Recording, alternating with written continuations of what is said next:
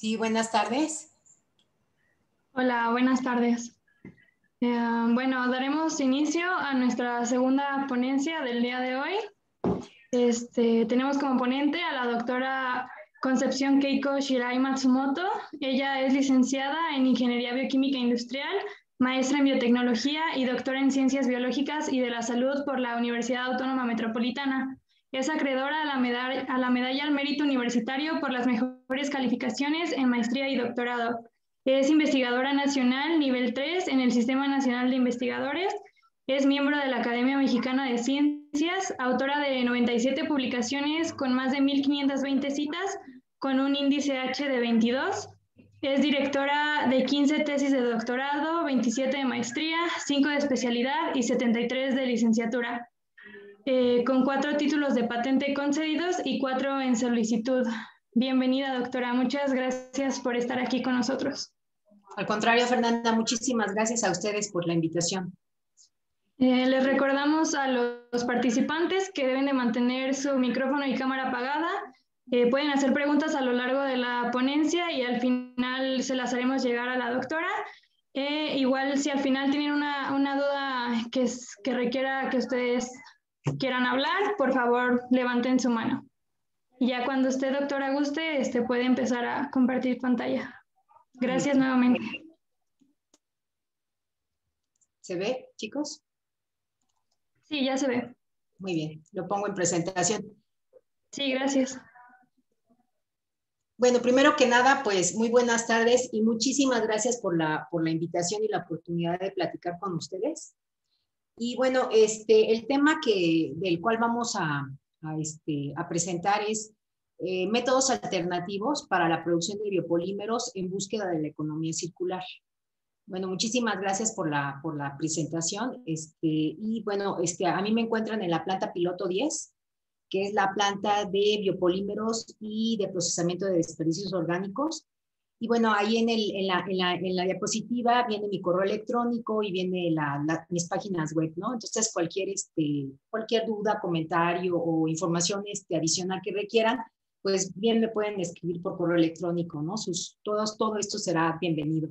Entonces, bueno, el contenido de esta presentación es básicamente explicarles qué es la economía circular, que es un, un concepto que a lo mejor algunos de ustedes ya conocen, a lo mejor otros no. Es un concepto relativamente nuevo y bueno, el caso de estudio, en este caso van a ser los biopolímeros y vamos a hablar de la producción de la quitina a nivel este, comercial, industrial. Algunos métodos alternativos que se ha propuesto mediante la biotecnología, en las cuales se utilizan microorganismos, es decir, mediante fermentaciones, o bien empleando métodos enzimáticos. También vamos a hablar sobre el mercado actual del quitosano, otras materias primas y pues bueno, finalmente una serie de conclusiones. Bueno, este, en la actualidad la sociedad este, moderna eh, tiene un sistema económico, un modelo económico que consiste en tomar, hacer y disponer.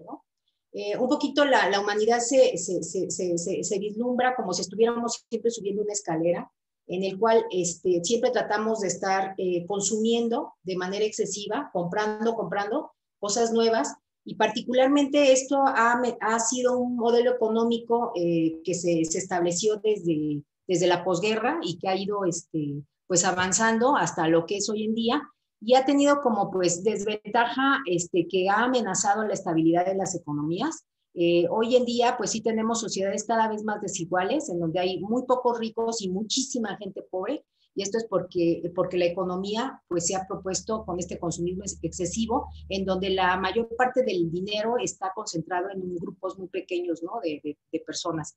Eh, además de estas amenazas, eh, yo creo que para todos es bastante evidente que la, integridad de nuestros ecosistemas se ven eh, fuertemente amenazados por la existencia de una gran cantidad de basura, que es este, basura no, no biodegradable, la cual pues finalmente se dispone y no se sabe qué hacer con ella, ¿no? Bueno, aquí en la diapositiva les presento pues algunas fotos, ¿verdad? Que podemos encontrar en las noticias en el Internet y que, bueno, desgraciadamente es un problema muy fuerte que, que, van, que estamos enfrentando y que van a enfrentar las generaciones este, futuras, ¿no? Entonces, realmente tenemos problemas este, ambientales muy, muy fuertes debido a la existencia de este tipo de, basura. Entonces, bueno, la economía circular pues nace justamente como una respuesta, ¿no? A este tipo de amenazas Y bueno, básicamente es un modelo económico que, está, eh, que trata de estar regulado y en conformidad con las leyes de la naturaleza.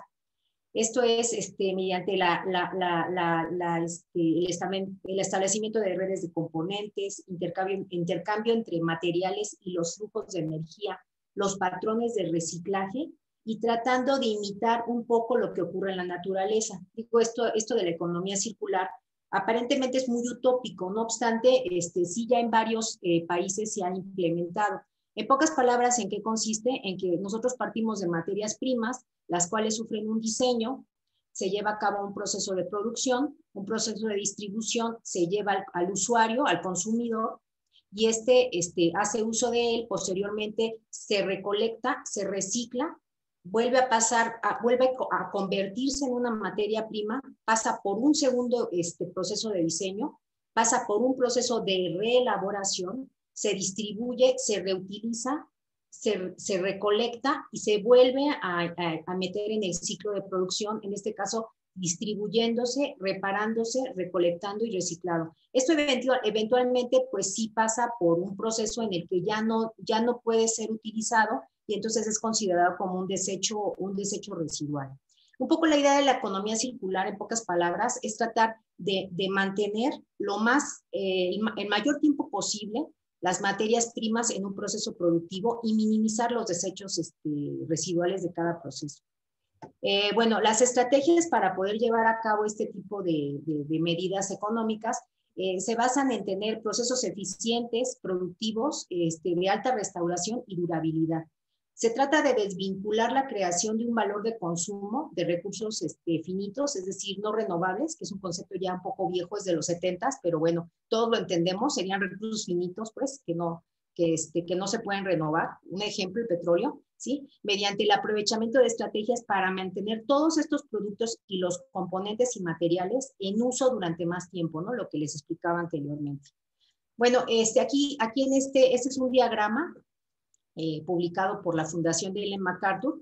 Y bueno, es un diagrama que presenta eh, el sistema de economía circular, tanto para materiales renovables como para materiales finitos o no renovables. Y bueno, en el caso, por ejemplo, de los materiales finitos, pues pasa por un proceso de fabricación de piezas, ¿verdad? Las materias primas pasan a, a ser piezas, estas a su vez forman parte de productos mediante un proceso de fabricación este, llega un prestador de servicio y este a su vez este, pasa al usuario. El usuario tendrá la opción de compartir, de mantener o prolongar, de reutilizar o redistribuir, reacondicionar, remanufacturar y esto va a ir regresando a lo que sería el ciclo de producción. Eventualmente va a llegar un punto en, el que vamos a tener un, residuo, un desecho. Aquí, bueno, la idea de este tipo de estrategias económicas es mantener al mínimo esta producción de los residuos, ¿no? En el caso de los materiales renovables, ¿verdad? Ahí eh, la economía circular es sumamente exitosa. ¿Por qué? Porque tenemos lo que es la fábrica, las materias primas eh, renovables son, este, se, utilizan para, para la fabricación de piezas, productos, productos llegan a un prestador de servicio, a un consumidor y posteriormente puede haber cascadas de reuso de este tipo de materiales este, biodegradables o bien pueden pasar a una extracción de la materia prima bioquímica, que todavía tiene un valor importante, y esta puede pasar, por ejemplo, a una digestión anaerobia y producir algún producto biotecnológico como, como por ejemplo el biogás. O bien pasar a ser este dióxido de carbono y agua y ya pasar a lo que es la biosfera. Esta, a su vez, pues completa los ciclos, ¿verdad?, de carbono, de nitrógeno en la naturaleza y nos ayuda a mantener el equilibrio eh, produciendo pues nuevamente materias primas y de esta forma pues se, regresa al ciclo de producción, ¿no? Nuevamente, eventualmente vamos a tener aquí la, la, generación de cierto residuo, pero les repito aquí lo importante de la economía circular es tratar de minimizar estos, esta, este volumen de residuos ¿no? que se va produciendo en cada ciclo de proceso. Entonces, bueno, este, eh, eh, aquí tengo en, la diapositiva, traté de presentarles el, diagramita de lo que es la economía circular, pero lo modifiqué a la forma en la que nosotros estamos llevando a cabo nuestros procesos este, en la actualidad. Y bueno, pues en este caso, pues tendríamos lo que es las materias primas, pasan por un proceso de diseño, pasa por un proceso de producción, distribución, consumo y posteriormente es un desecho. ¿Verdad? No tenemos ya este, esta, este, este proceso de, cíclico de, posteriormente, después de la recolección, que se vuelva a convertir a una materia prima, pase por otro proceso de diseño, reelaboración, distribución, etcétera, ¿no? Es decir, el, el ciclo de producción se interrumpe y lo que va pasando es que la materia prima tiene un flujo directo hacia residuos, ¿no? Mientras que en el caso de, un, de, un, de una estrategia circular, siempre sería mantenerlo en un proceso de, continuo, de continua inclusión en, en, un proceso de reelaboración o producción, que lo cual nos permitiría obtener de esa materia prima inicial el mayor provecho posible, minimizando la cantidad de desechos residuales. ¿no? Bueno, este, este, como les presentaba en algunas de las primeras diapositivas, eh, el problema realmente de la basura este, que no es eh, biodegradable es bastante fuerte, ¿no? Eh, bueno, desde el año pasado, ustedes quizás habrán leído que, ya hay una ley, ¿verdad?, que prohíbe, por ejemplo, los plásticos de un solo uso. Y esto es en gran medida porque pues, es una contaminación muy importante en nuestras aguas, en nuestros mares, y es debido justamente a estos materiales. El campo del envasado, sí, está pues, todavía dominado por polímeros que se derivan del petróleo. Un ejemplo pues, sería el polietileno y el poliestireno, los cuales son muy difíciles de, biodegradar. Se requieren al menos 100 años para poderlos biodegradar. Y bueno, estos polímeros en consecuencia son muy contaminantes y van a provocar efectos negativos, este, como por ejemplo el aumento en el dióxido de carbono. Eh, ustedes ya han escuchado los efectos de, la, de, la, de, que se produzca tanto dióxido de carbono, ¿verdad? Todo lo que es la, este, los problemas eh, ambientales que tenemos están en gran medida debido a esta producción excesiva ¿no? de dióxido de carbono eh, y la liberación de compuestos químicos, ¿no? Un ejemplo son todos estos contaminantes emergentes que provienen de los, de los plásticos, como por ejemplo las dioxinas, que son tóxicas, son cancerígenas, ¿no? Muchos de estos compuestos emergentes van a ser disruptores endocrinos y en consecuencia, pues las nuevas generaciones tienen grandes problemas hormonales y esto es en gran medida por, la, por, la, por la, el acumulamiento, ¿verdad? La acumulación de todos estos contaminantes emergentes, ¿no? Que provienen de este tipo de materiales, ¿no?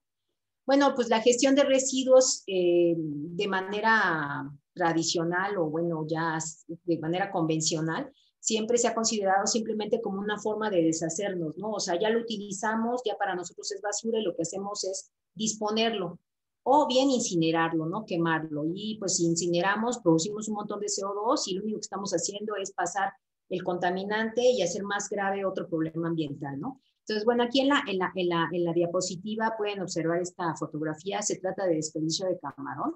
Es una práctica muy común en las zonas en las que se produce por acuacultura el camarón, que este, se, se, se descabeza o se le elimina lo que es el exoesqueleto y se, la cáscara y, se, y únicamente se, se, amontona, se dispone, ni siquiera se entierra, ¿no?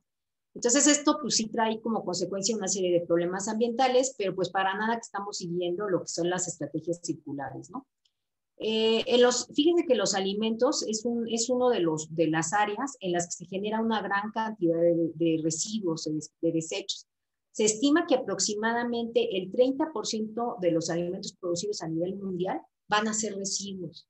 Entonces es una cantidad enorme, de, un volumen enorme de desperdicios que estamos generando nada más con los alimentos. ¿sí? Estos ya no van a tener, ningún tipo de utilización y pues no se van a producir ningún tipo de, de productos este, posteriormente, no se manipulan, no se procesan, no se distribuyen, únicamente se disponen, ¿no? Entonces ocasiona un problema muy serio. Entonces, bueno, nuestro grupo de trabajo ya desde hace varias, este, varios años hemos este, desarrollado pues nuevos procesos para la producción de biopolímeros empleando biotecnología y este, utilizamos principalmente desechos, ¿no? Un poquito, este, cuando, cuando empecé a trabajar yo en este tema, pues todavía el concepto de economía circular pues no era, no existía, ¿no? Sin embargo, el problema de los residuos ya era bastante grave en varias, en varias zonas del país. Entonces, bueno, este, eh, sin querer o queriendo o muy consciente de lo que era la problemática que íbamos a tener, este, empezamos a trabajar y a buscar soluciones para tratar de aprovechar lo que estaba presente en esos residuos, ¿no?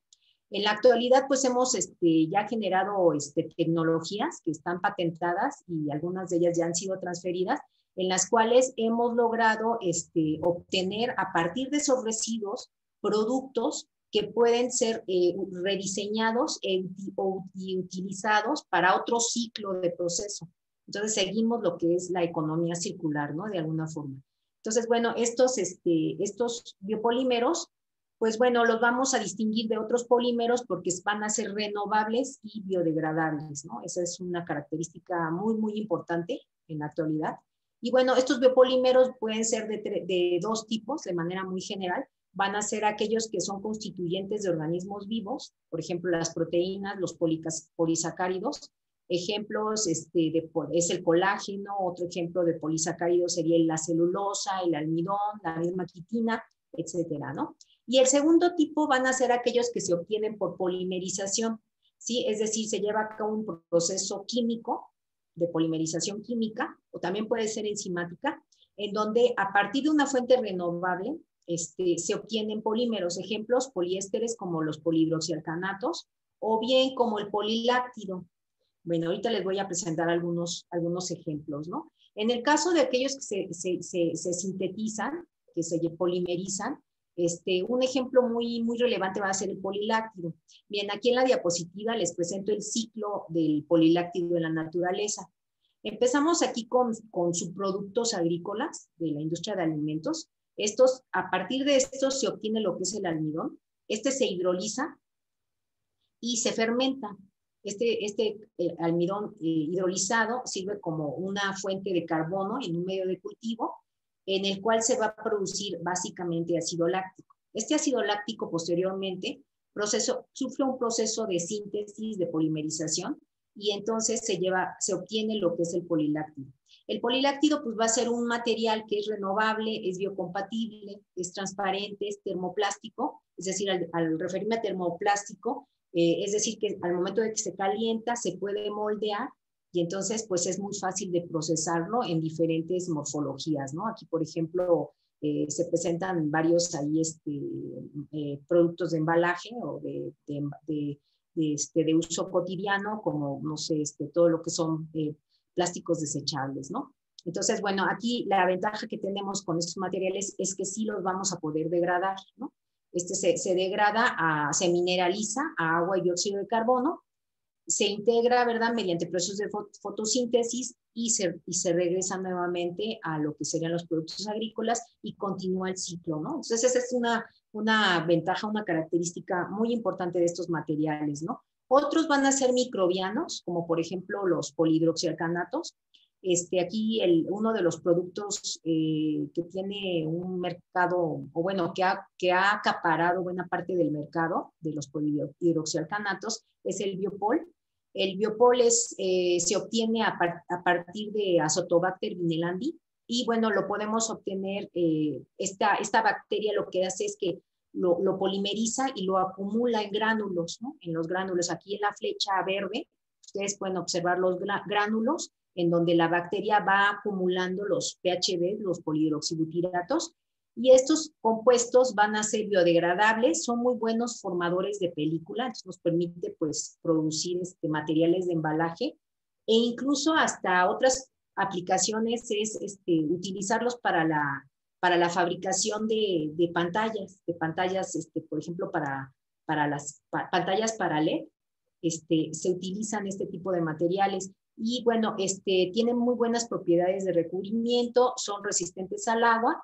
Y bueno, este, aquí el principal problema que tienen estos materiales es que este, todavía es, eh, son materiales relativamente caros, o sea, el costo es alto y esto es más que nada por la escala de producción. Digo, para todos los, los, ingenieros de aquí de biotecnología, es un nicho de oportunidad, ¿no? Porque finalmente ustedes van a tener la formación como para poder lograr este, escalar estos procesos y escalando estos procesos es factible pues reducir el costo, ¿no? Entonces, bueno, aquí les traigo unos ejemplos de materiales que, que, se, de productos, perdón, que se obtienen a partir de, de los polihidroxialcanatos, ¿no? Eh, bueno, los biopolímeros que se encuentran como componentes de ya de otros seres vivos están los polisacáridos, les mencionaba yo la celulosa, bueno, la celulosa se ha utilizado por décadas como material, ¿no? Este, bueno, un ejemplo que yo creo que todos lo hemos visto es que nos comemos un caramelo, ¿verdad? Y este viene envuelto en una peliculita de celofán, ¿no? Entonces, bueno, el celofán es es, este, es un material que es hidrofílico, ¿verdad? Eh, es decir, es sensible a la humedad, no va a ser termoplástico, no lo podemos sellar, o sea, no lo podemos pegar con, con calor, ¿no? Por ejemplo. Entonces, estas características son un tanto desventajosas como materiales de embalaje. Entonces, eh, debido a eso, lo que se ha hecho es modificarlo mediante recubrimientos con otros polímeros que son hidrofóbicos. Un ejemplo es utilizar la cera de nitrocelulosa o el cloruro de polivinilideno, el cual pues forma una capa en el, en el celofán y es una capa que es hidrofóbica y en consecuencia pues se evita la pérdida, ¿verdad?, de, agua en los alimentos, que ese es un problema muy, muy importante que tenemos que controlar al momento de, de conservarlos, ¿no? Y por otra parte, sí, le, sí permite, dar, les da unas propiedades mecánicas que lo hace este, más moldeable y que pueda ser sellado térmicamente, ¿no? Sin embargo, pues sí va a tener como principal desventaja que el costo de producción todavía es elevado. En términos generales, pues la celulosa es, es barata, es muy, muy disponible, es uno de los polímeros muy abundantes en la naturaleza, va a ser cristalina, fibrosa y es insoluble. Bueno, también se utiliza, además de la, de la, del, celofán y sus derivados, se utilizan eh, reacciones químicas o modificaciones químicas en las cuales se incluyen en en el, polímero de la celulosa compuestos que le dan propiedades este, diferentes, ¿no? Entre ellos, por ejemplo, se encuentra la derivatización con, para producir etilcelulosa o la hidroxietilcelulosa, la hidroxipropilmetilcelulosa, las cuales pues van a ser ya solubles en agua y pues tienen aplicaciones en alimentos este, desde eh, bueno, muy, muy variadas, ¿no? Ya no me voy a desviar mucho, pero bueno, tenemos también que se produce el acetato de celulosa. Y bueno, estos materiales pues sí van a ser este, materiales eh, termoplásticos y eh, se pueden mejorar aún más sus propiedades mecánicas adicionando un plastificante, ¿no? Con este plastificante pues se me mejora la elasticidad y con eso pues se pueden producir diferentes productos, ¿no? Se pueden moldear más fácilmente. Perdón, es que como que se, se, trabó, se ha trabado un poquitín, pero bueno, el otro ejemplo que les traigo son los almidones. Y bueno, los almidones ustedes saben que son muy baratos, son biodegradables, son hidrofílicos y son eh, parcialmente cristalinos, son menos cristalinos que la celulosa, ¿no? Y bueno, estos este, materiales eh, pueden ser extruidos, o sea, se pueden este, tratar térmicamente y con presión para este, este, cambiar las, las, la, la, estructura y esto este, pues nos va a permitir poder producir una serie de materiales, ¿verdad? Esa sería una estrategia. La otra estrategia sería nuevamente adicionar un polímero sintético que sea también biodegradable, como por ejemplo el polivinilalcohol o la policaprolactona, y pues estos no pierden su capacidad de ser este, biodegradables y pueden ser compostables, ¿no? Bueno, nuevamente aquí el problema, ¿cuál es? El costo. Siguen, ser, siguen siendo materiales costosos, ¿no? Y lo otro sería la modificación química, que aquí hay que tener mucho cuidado porque pues sí podemos mejorar mucho las propiedades, pero hay que tener la precaución de que no se vayan a este, vulnerar la, la, capacidad de degradación. Es decir, que no al adicionar o modificar químicamente con grupos eh, funcionales, hagamos un polímero que pierda su capacidad de biodegradación. ¿sí? Entonces, bueno, eh, eh, tenemos otro, otro ejemplo con el que nosotros, de hecho, ha sido como que nuestro, nuestra materia de estudio eh, va a ser la quitina y el quitosano.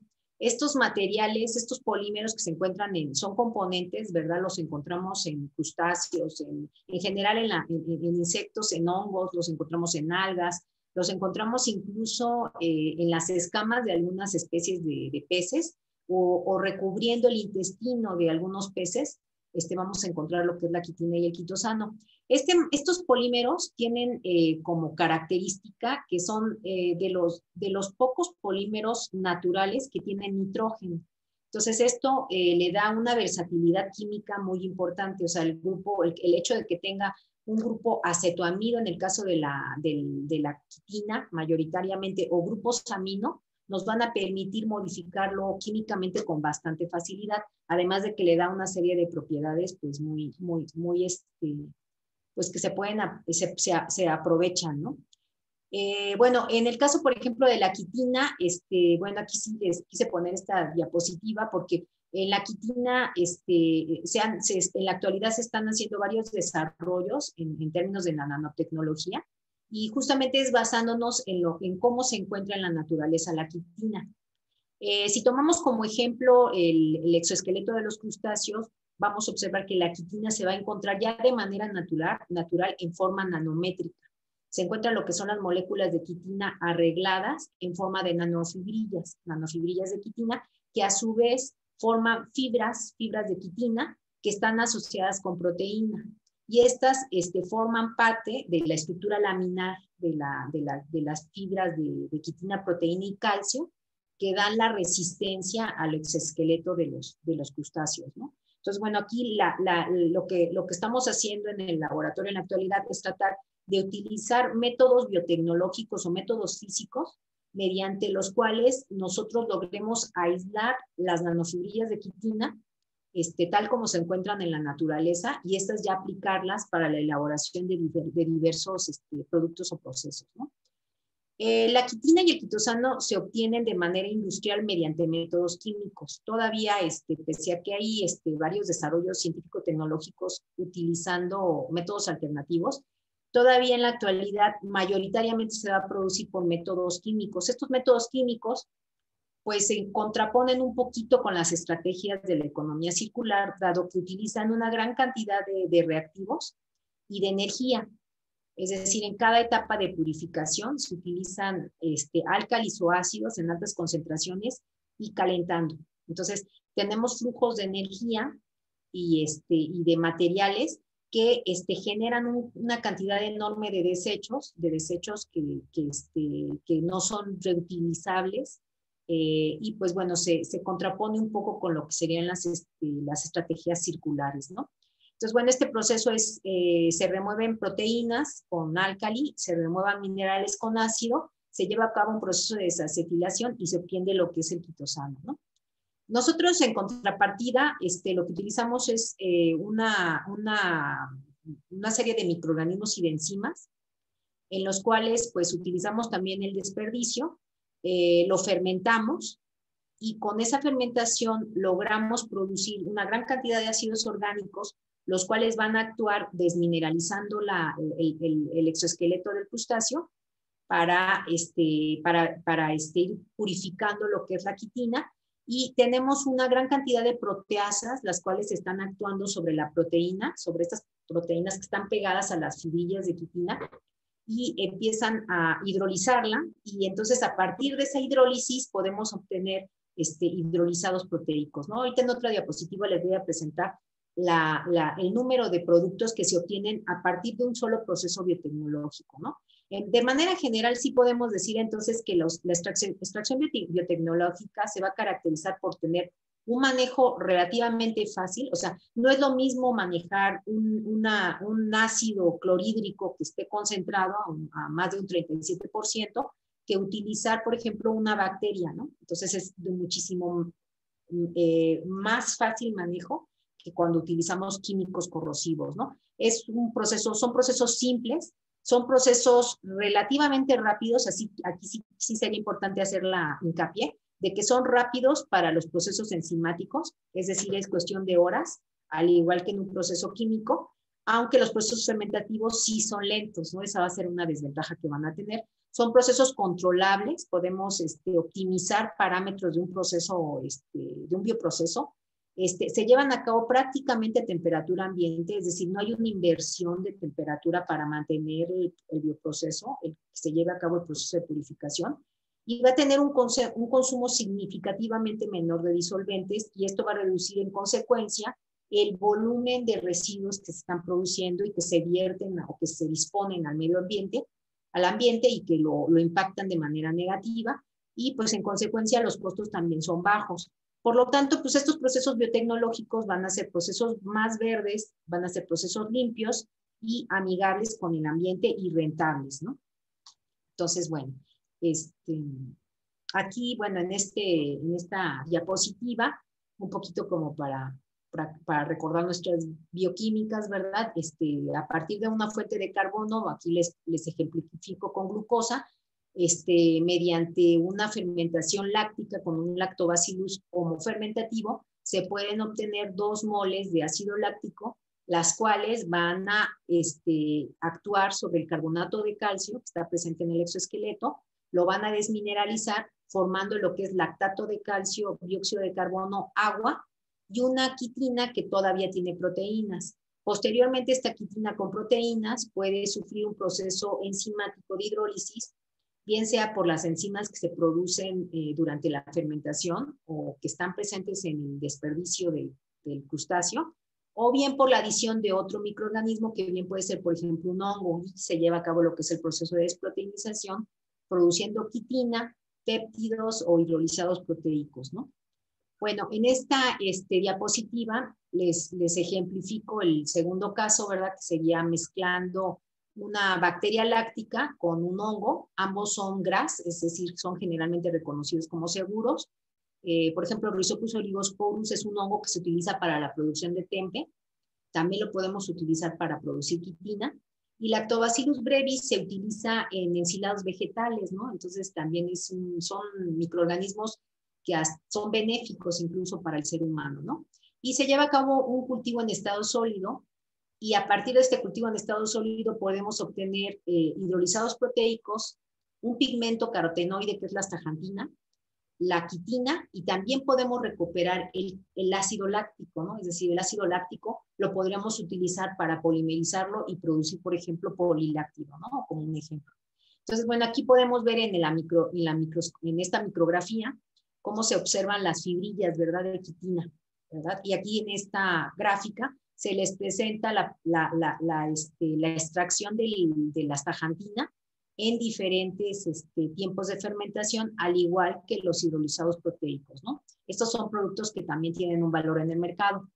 Existen eh, otros procesos biotecnológicos, como serían los métodos enzimáticos, en los cuales, bueno, se obtienen, se utilizan principalmente proteasas Aquí pueden ustedes trabajar directamente con el residuo de crustáceo o con el residuo desmineralizado y este, llevar a cabo un proceso enzimático controlando la concentración de enzima, el, el substrato, que en este caso sería el residuo, el pH, la temperatura y el tiempo de reacción para obtener una quitina calcárea o una quitina totalmente purificada. La quitina calcárea la van a obtener a partir del residuo que está, perdón, del, residuo sin desmineralizar, mientras que la quitina ya totalmente purificada se obtiene a partir del residuo desmineralizado. Entonces, bueno, estos procesos este, enzimáticos, pues como les comentaba anteriormente, sí son procesos bastante rápidos que se llevan a cabo en cuestión de horas y van a ser muy competitivos en cuestiones de tiempo con los métodos químicos, ¿no? Aquí les presento una tabla en donde traté de, de comparar, ¿verdad? Desde una forma, este, como, como dando este, los elementos, ¿verdad? De por qué puede ser un proceso competitivo con el método comercial existente, ¿no? Entonces, el método químico, en el proceso, pues, como ya mencioné, eh, aquí los reactantes son ácidos y álcalis, mientras que los métodos biotecnológicos van a ser bacterias, hongos y proteasas, ¿no? En el caso del proceso químico o comercial son altos volúmenes de agua, o sea, se tiene que estar neutralizando en cada etapa de purificación y en consecuencia pues los volúmenes de agua son muy, muy altos y el costo de tratamiento de agua es muy costoso, es, es alto. Entonces, y en el caso de los métodos eh, biotecnológicos, pues realmente se reduce muchísimo el agua que se requiere. Esto si consideramos que este, desde que es cultivo en estado sólido, este, tenemos un ahorro de mínimo un 60% con respecto a lo que serían los procesos comerciales. ¿no? Eh, bueno, ya mencioné que hay una gran producción de efluentes contaminantes y en el caso del método biotecnológico los efluentes se minimizan y, son biodegradables, ¿no? Sería una gran característica, una gran ventaja. Eh, una, una, este, una característica muy ventajosa para el proceso comercial es que el tiempo de proceso es corto, ¿no? Es tan solo horas, ¿no? Yo creo que por esa razón no se han implementado procesos biotecnológicos, dado que, por ejemplo, el proceso fermentativo, si son procesos largos, requiere varios días, mientras que los procesos enzimáticos, como les mencionaba, sí pueden ser cortos de tan solo horas. Los productos, en el caso de los métodos químicos comerciales, van a tener un peso molecular muy bajo y esto es debido a que a que el, proceso es muy drástico, o sea, son temperaturas altas y concentraciones altas de álcalis y ácidos, los cuales hidrolizan no nada más, no nada más remueven minerales y proteínas, sino también hidrolizan la cadena del, polímero, ¿no? Entonces, pues sí tenemos productos con pesos moleculares más bajos y cristalinidades también más bajas. Mientras que en los procesos biotecnológicos el peso molecular y la cristalinidad se conservan altas. Estas características eh, resultan relevantes cuando queremos obtener a partir de ellos un producto. Por ejemplo, cuando queremos obtener las nanofibrillas de quitina, es muy importante que se mantenga la cristalinidad alta, ¿no? Eh, y bueno, pues se va a mejorar las propiedades mecánicas y vamos a tener un mayor rendimiento. También es el caso de los nanocristales de, de quitina, que también este, se obtiene un mayor rendimiento cuando se parte de una quitina extraída biotecnológicamente, ¿no? A comparación de una química. En el caso del proceso químico va a destruir todos los subproductos, o sea, genera todo el residuo, pues básicamente nada más, el único producto es la quitina y todo lo demás es, es, es este residuo.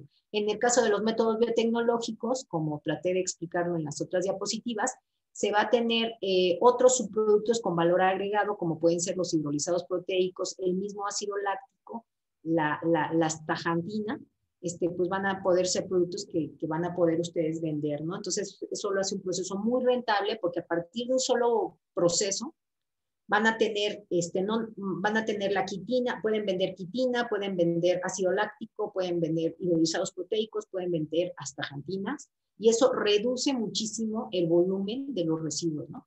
Entonces tratamos de seguir la estrategia circular. Eh, existen otros, eh, otras materias primas a las, de las cuales se pueden tratar para producir este, quitina, entre ellas están los hongos, ¿no? Los hongos van a tener eh, algunas ventajas, como que la más relevante es que no hay una dependencia de la variación estacional ni de las vedas, ¿no? O sea, en el caso de los crustáceos, pues si son crustáceos que provienen de pesca, pues siempre están sujetos a veda, ¿no? Entonces hay una limitación de la materia prima, ¿no? De la, del abastecimiento de materia prima. En el caso de los hongos, pues no, o sea, es, los cultivas y obtienes a partir de ellos quitina todo el tiempo, ¿no?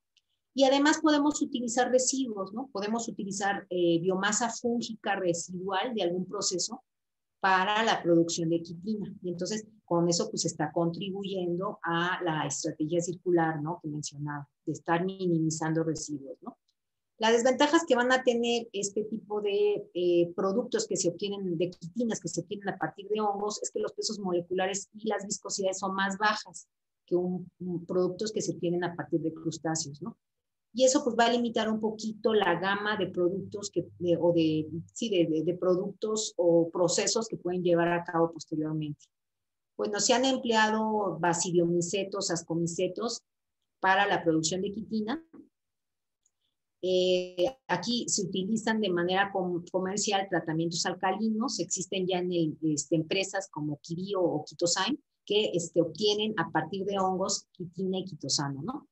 Eh, se, produce a partir de cigomicetos también, como Absidia, Mucor, Rhizopus, Rhizomucor y Gongronella, este, ya que estos ascomicetos producen directamente quitosano en la pared celular. Entonces, eh, a partir del cultivo de estos cigomicetos, este, podemos ya obtener directamente quitosano y nos evitamos el proceso de desacetilación, que es el proceso más contaminante. ¿sí? Otra materia prima van a ser los insectos, y bueno, este, aquí la, la, ventaja que va a tener es eh, que presenta un contenido de minerales relativamente más bajo que con los crustáceos, por lo tanto, los procesos de purificación son menos drásticos y también que son productos que tienen un menor riesgo de producir reacciones alérgicas debido a proteína residual, ¿no? A diferencia de los crustáceos, ¿no? Yo creo que hay mucha gente que es alérgica, por ejemplo, al camarón, y, este, y también podría ser alérgica a la quitina que se extrae del camarón, ¿sí? Entonces, bueno, en este caso, en el caso de la quitina de los insectos, no tenemos ese problema de alergenicidad, ¿no? Eh, la desventaja nuevamente es que los productos presentan valores de viscosidad y pesos moleculares más bajos que las que se obtienen con los crustáceos. Y bueno, se han utilizado cícadas, mosca de, soldado negro, grillos gusano de la harina para producir este quitina. Las proyecciones, bueno, estas proyecciones ya quedaron un poco viejas porque fueron proyecciones que se hicieron en el 2016 y en ese entonces se proyectaba que el mercado global de gusano para el 2021 iba a estar en 4.2 billones de dólares, con una tasa de crecimiento anual del 15.4%. ¿no? Entonces, estos productos se prevé que van a tener una, o se proyecta que van a tener un mercado global en ascenso Y esto es debido a todos los problemas ambientales que, hay y las legislaciones que se están dando para evitar pues contaminación, ¿no? El mercado pues es bien diverso, encontramos productos derivados de quitina y quitosano en alimentos, en agricultura, en cosmetología, en tratamiento de aguas, en textiles, en medicina. Y bueno, hay varias empresas, ¿no? Aquí les presento así en, estas, este, en este diagrama eh, las, las aplicaciones, ¿no? Siendo, por ejemplo, el tratamiento de aguas residuales el que ocupa el 40% del mercado del producto, seguida de otros usos, que sería el 26.9%, un 15% en la agricultura, un 6.5% en la industria textil, 5% en cosméticos y el, el resto estaría este, siendo utilizado como reactivo industrial o espesantes. Y bueno, se tienen todas estas compañías que se encargan de la producción de quitina y quitosano. Pero ya, por, ya me falta poco para terminar. Este, existen otros biopolímeros que, con los cuales hemos estado estudiando ahí en el, en el grupo, y este, entre ellos se encuentran lo que es la celulosa bacteriana. Ah, bueno, no nada más se encuentra en las plantas, la celulosa también se puede producir por biotecnología, ¿no? Y un ejemplo de ellos es, la, es este, el, género Gluconacetobacter, o también conocida como las bacterias acéticas, de hecho son las mismas que se utilizan para producir el vinagre. Estas mismas bacterias tienen la capacidad de, en condiciones aeróbicas, producir este, celulosa bacteriana. Y bueno, este, aquí en este diapositiva eh, les presento un cultivo sumergido, no, perdón, un cultivo en estado sólido que este, emplea espuma de poliuretano como soporte. Y bueno, aquí en la micrografía podemos ver cómo se está depositando lo que es la celulosa bacteriana en el soporte donde se está llevando a cabo el cultivo en estado sólido de gluconacetobacter, ¿no? Y tiene muy buen rendimiento y es competitiva con un cultivo sumergido. Otros, otros biopolímeros, biopolímeros que también se producen por bioprocesos va a ser el ácido hialurónico. Este tiene su mayor mercado en, la, en el área de cosmetología, ¿no? Ya saben que el ácido hialurónico, todas las, las cremas, ¿no? Antienvejecimiento, este, van a ser, este, van a tener como componente, como ingrediente clave, ¿no? Hasta en mercadotecnia, el, el ácido hialurónico, ¿no? Eh, bueno, este se produce a partir de una bacteria gram negativa, un Streptococcus, eh, streptococo, que sería este Streptococcus equi, subespecie o epidemicus. Y bueno, este es un ejemplo de una producción en un cultivo sumergido.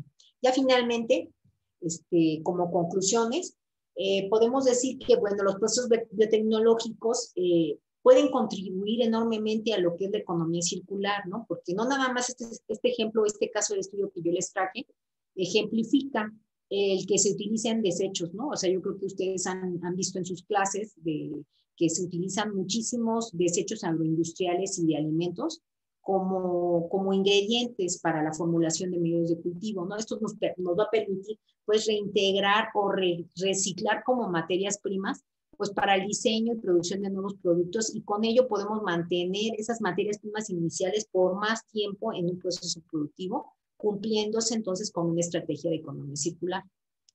Eh, bueno, son procesos con bajo consumo de energía y de agua, y por lo tanto, pues pueden ser muy ventajosos desde el punto de vista de rentabilidad y pues eh, implican generalmente un menor consumo de reactivos corrosivos, minimizando por tanto el volumen de otros desechos que posteriormente tienen que ser tratados y que impactan de manera negativa al ambiente y incrementa el costo, ¿no? Bueno, chicos, pues quisiera agradecer a todas las, las, las, fuentes de financiamiento que ha contado el grupo de trabajo para poder llevar a cabo estas investigaciones. Y bueno, pues agradecerles por su atención. Eh, pues no sé si tienen alguna, alguna duda, algún comentario. Y muchas gracias por su atención. Si doctora.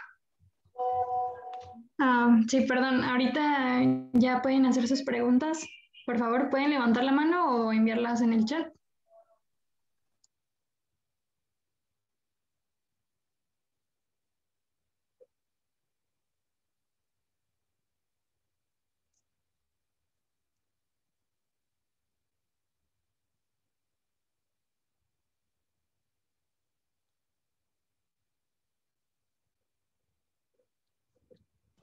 Tenemos una pregunta, doctora, de Andrea Berenice Hernández y dice, buenas tardes, doctora. Comentó que el proceso de desacetilación es el paso más contaminante. ¿Hay alguna forma de disminuir este problema? Sí, fíjate que de hecho, de manera, este, en investigación, eh, se han hecho trabajos, bueno, incluyéndonos nosotros también tenemos ya trabajos realizados con, este, para la producción de enzimas desacetilasas que este, sustituyan el, uso del álcali, ¿no? Entonces, sí hay, este, sí hay bioprocesos que buscan justamente este, evitar el uso de la sosa o del álcali que se requieren en concentraciones muy, muy elevadas, ¿no? Sin embargo, este, de manera comercial, estos bioprocesos sí son poco competitivos todavía porque se logran este, eh, porcentajes de desacetilación todavía bastante bajos, ¿no? Entonces sí se requiere como que optimizar los bioprocesos para así lograr sustituir estos procesos todavía muy contaminantes, ¿no? Químicos. Sin embargo, pues sí hay mucho desarrollo que se está haciendo y que estamos haciendo, ¿no? Estudios que estamos haciendo. Entonces, eventualmente este, lo vamos a lograr, ¿no?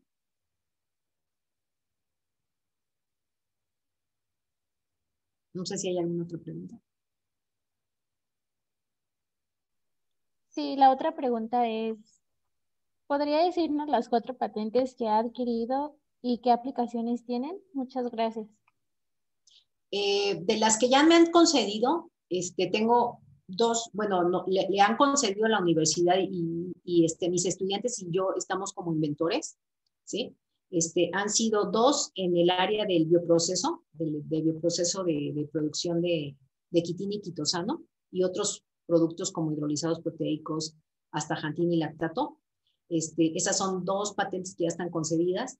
Una, de esas dos patentes está enfocada a, los cambios estructurales que se producen durante el proceso de fermentación y que son de gran utilidad para ciertas aplicaciones, porque se forman copolímeros que funcionan como polisacáridos anfifílicos que pueden tener este, aplicaciones para, por ejemplo, para el área de alimentos, este, para, para utilizarse en la producción de emulsiones, ¿no? que se aplican mucho en alimentos. ¿no? Ese sería un ejemplo.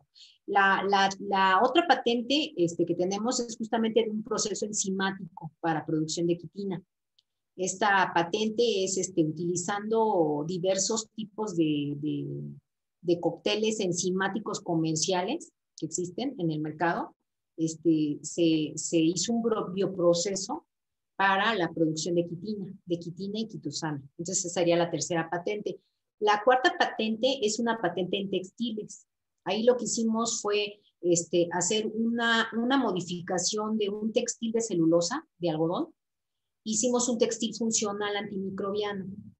Entonces, bueno, utilizando las propiedades del quitosano y de otros compuestos, este, además de las, de las características o de los usos que tiene un textil normal, tiene la ventaja de que es, es antimicrobiano, ¿no? Y bueno, pues tiene relevancia porque ya ven ahorita cómo estamos este, por cuestiones de, de enfermedades o de situaciones sanitarias. Y entonces este tipo de materiales que tienen además la función de ser este, antimicrobiano pueden ser utilizados en, este, en hospitales, este, en el área de alimentos, o sea, tienen muchísimos usos, ¿no? E incluso hasta para ropa para deportistas, ¿no? Este, para evitar el mal olor provocado por el sudor, etcétera, porque finalmente son bacterias las que ocasionan el mal olor, el mal olor del sudor. Este, cuando se utiliza ropa que tiene una actividad antimicrobiana, es factible controlar ese tipo de problemas. Esas serían las eh, cuatro patentes concedidas y tenemos tres patentes más. Una de ellas es este, sobre el uso de una proteína anfifílica. Esa no tiene que ver tanto con lo de la quitina y el quitosano, que serían, este, son hidrofobinas, son proteínas anfifílicas. Este, y bueno, ahí lo que estamos protegiendo es cómo se producen y cómo, cómo se pueden utilizar en la este, extracción de, de, petróleo, ¿no? Entonces, este, esa sería otra patente. Otra patente es sobre un material absorbente para, este, para remoción de metales pesados en aguas, en aguas tanto residuales como potables. Esa sería la otra, la otra patente que está en proceso. Este, o sea, es decir, está en, está en examen de fondo. Eh, la otra patente es sobre, este, sobre un recubrimiento de, de, frutas y hortalizas para alargar la vida de anaquel en, en post cosecha y es este, justamente utilizando quitosano y quitina, ¿no? Esa sería la tercera. La cuarta, la cuarta es este, pues creo que ya. Sí, creo que hay una que se me olvida, pero bueno, creo que sí, ya, ya serían todas, ya. No sé si hay alguna otra pregunta. Muchas gracias, doctora. Tenemos otra pregunta. Eh, mencionaba que eh, una de las principales aplicaciones de la quitina es en el tratamiento de aguas residuales. ¿Podría dar un ejemplo de cómo se utilizaría este compuesto? Sí, de hecho, de hecho bueno, ahorita mencioné, mencioné, nosotros tenemos un desarrollo, que de hecho este es un proyecto que tenemos con financiamiento del, del ¿sí? de la Secretaría de, de, este, de hecho aquí lo tenemos, ay, bueno, este, sí, de la Secretaría de Ciencia y Tecnología e Innovación, que es este, buscar el, hacer un material que es biodegradable, basado en quitosano, y que se utiliza para la remoción por absorción de metales pesados, ¿no? Entonces, este, esa sería una aplicación que se, que se lleva a cabo para, para el tratamiento de aguas. O sea, el quitosano tiene carácter, o sea, por, debido al grupo amino que está, este, que está este, presente en la, en la molécula, este grupo amino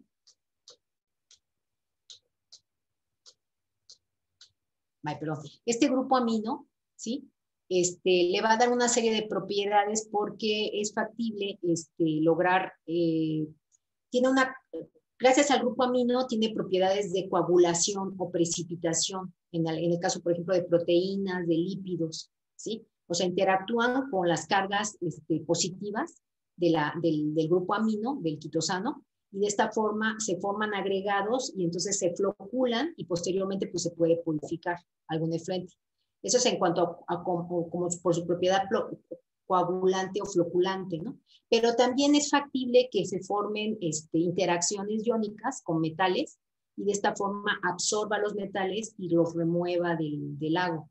Entonces sería otra, otra este, característica, otra propiedad que se aprovecha mucho en el área de, tratamiento de aguas. Eh, la ventaja que tienen estos materiales es que los flóculos o los agregados que se producen, pues también van a ser biodegradables, ¿no? De manera importante.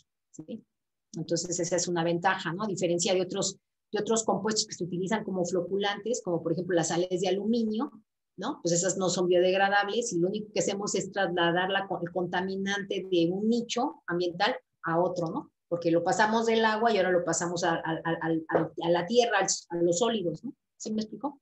Entonces, bueno, sí sería como, como un ejemplo, ¿no?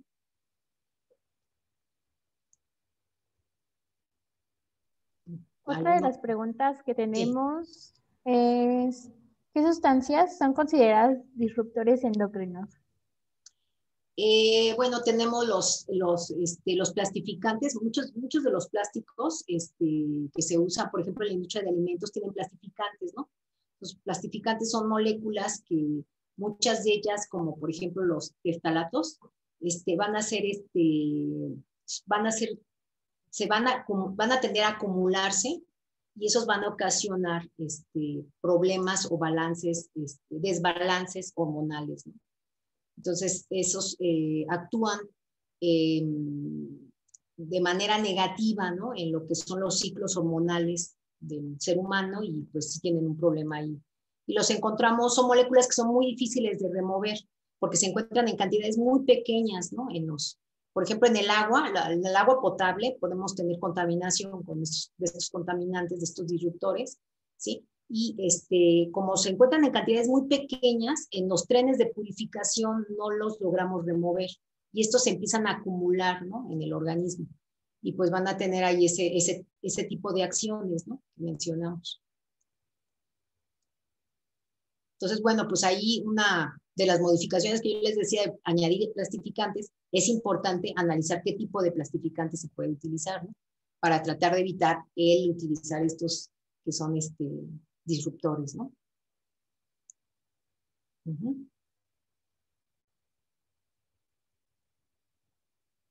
Tenemos otra pregunta, doctora, de Adriana Carolina, y dice, ¿qué se considera para la selección de la materia prima para la extracción de la quitina? ¿Qué se considera?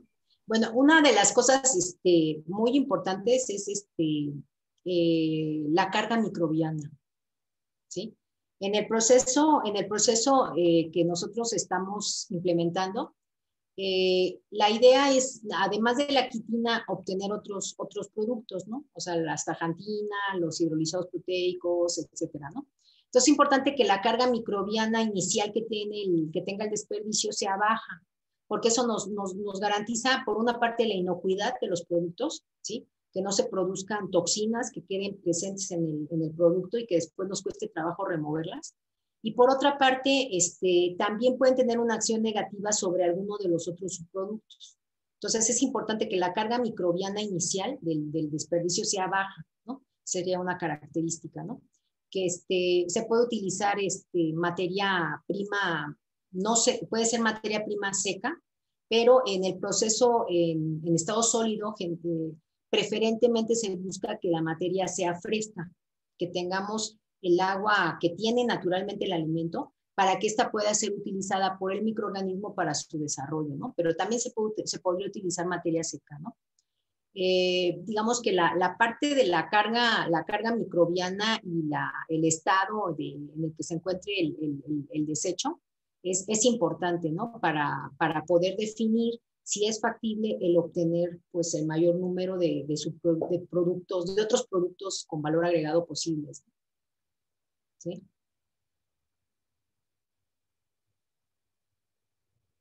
¿Alguna otra pregunta? La, sí, la siguiente pregunta es, ¿cuál es el proceso de biodegradación de la quitina y quitosano? ¿Requieren un tratamiento especial para poder degradarse? Pues mm, nosotros, este, hasta los seres humanos tenemos quitinasas, ¿no? En, en nuestro sistema gastrointestinal. O sea, las quitinasas van a ser las enzimas que se encargan de hidrolizar la quitina.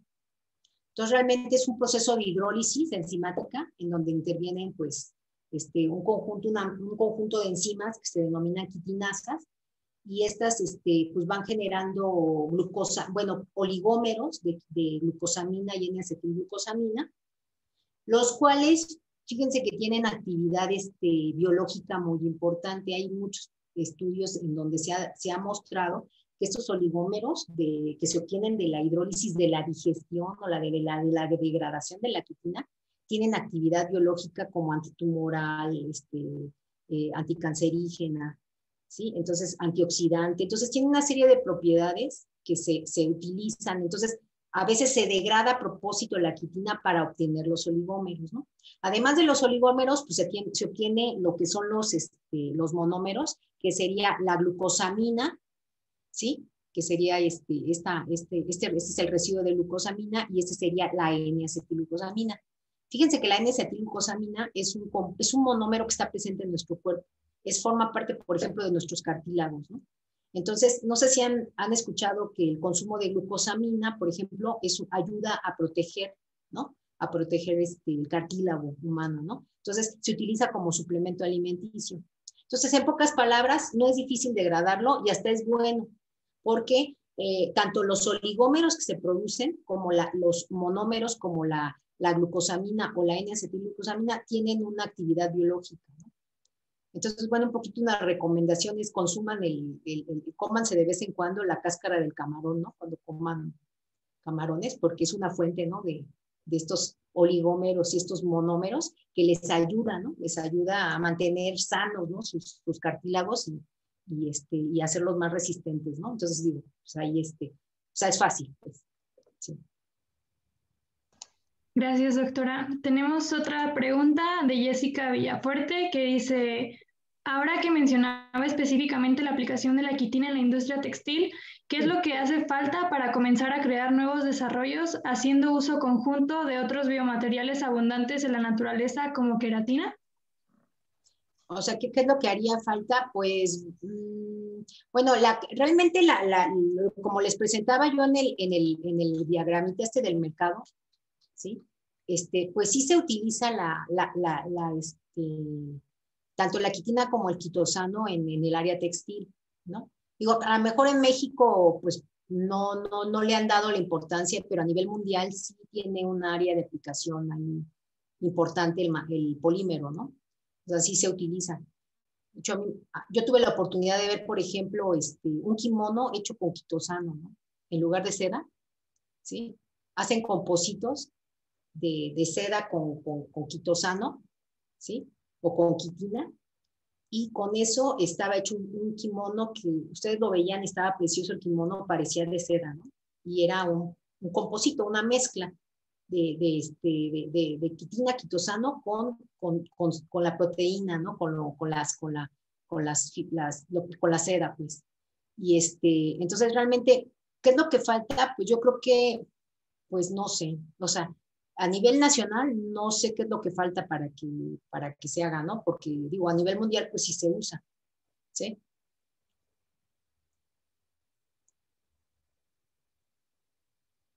Yo creo que también es, es el costo, ¿no? Pero bueno, este, ahí yo creo que el costo depende mucho de la funcionalidad, ¿no? Del textil. Sí, este, o sea, tú te compras una, una blusa de algodón, ¿no? O una ropa o una camiseta de algodón, ¿no?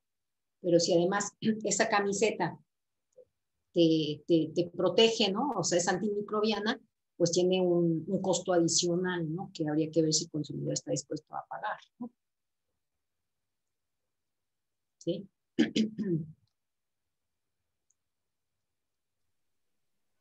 Mm, otra de las preguntas eh, viene desde Facebook y la hace Cecilia Daniel y pregunta, ¿qué sabes sobre la aplicación de la ingeniería genética para la producción de biopolímeros?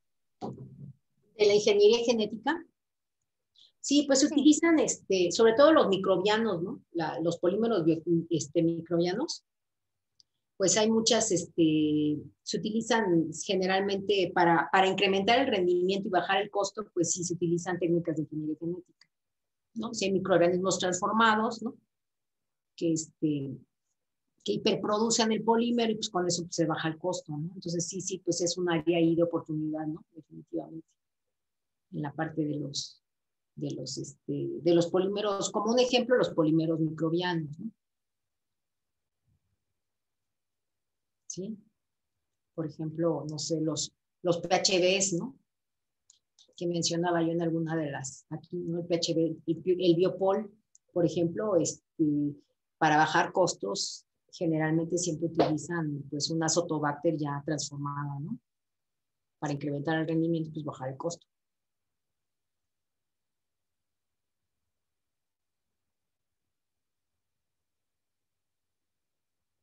¿Tienen alguna otra pregunta? Mm, gracias, doctora. Sí, tenemos otra pregunta. Eh, usted mencionaba que la quitina calcárea y la quitina se obtienen de los residuos y los residuos desmineralizados.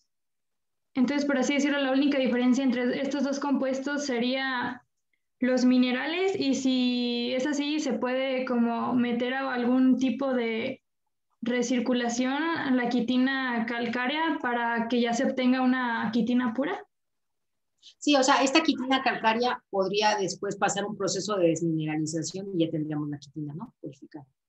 Pero este, para algunos productos se utiliza la quitina calcárea directamente. O sea, la presencia de los minerales, del calcio, el magnesio, etcétera, le, le, le, le, proporciona propiedades, ¿no? Por ejemplo, cuando se buscan propiedades de absorción, ¿sí? El utilizar una quitina calcárea pues puede ser una, una, ventaja, ¿no? o sea, es un mejor absorbente, por decirles algo, ¿no? ¿Sí? Para hacer algunos materiales, por ejemplo, para este, materiales odontológicos, ¿sí? Es, este, se recomienda, por ejemplo, utilizar quitina calcárea. O sea, hay estudios que realizan utilizando quitina calcárea. ¿Por qué? Porque este, tenemos ahí presencia de calcio, fósforo, ¿sí? Y pues por ahí tenemos nosotros un trabajo en donde sí se produce, por ejemplo, hidroxiapatita, ¿no? ¿Sí? Entonces, este, tiene un, una, un uso muy importante, ¿no? En, en, el área odontológica, ¿no? Como un ejemplo, ¿sí? Principal problema, el principal problema aquí es las proteínas, ¿no? Ahí el tema de la purificación son las proteínas. ¿Por qué? ¿Por, ¿por qué las proteínas? Porque en muchos países no está aprobado el quitosano para algunos usos y es justamente por la proteína residual, por la, por la situación que les comentaba anteriormente de las reacciones alérgicas. Entonces, este, aquí el tema es cómo quitar proteína. O sea, los minerales es menos problemático. Ahí el problema es, el, punto ahí es quitar la proteína. Y más si es para aplicaciones biomédicas. ¿no? Ok, doctora, muchas gracias. A ustedes, chicos. No sabemos si alguien más tiene alguna otra pregunta.